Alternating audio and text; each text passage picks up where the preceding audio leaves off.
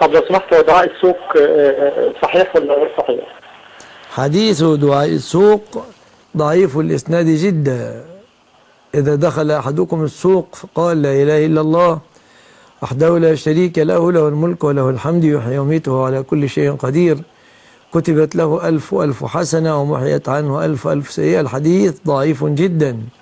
في سنده عمرو بن دينار كهرمان آل الزبير. وهو رجل تالف وقد توهم بعض العلماء أنه عمرو بن دينار المعروف المكي الثبت فصححوا الخبر لكن حقيقة أمره أنه عمرو بن دينار كهرمان آل الزبير وهو ضعيف تالف فالخبر تالف الإسناد والله أعلم.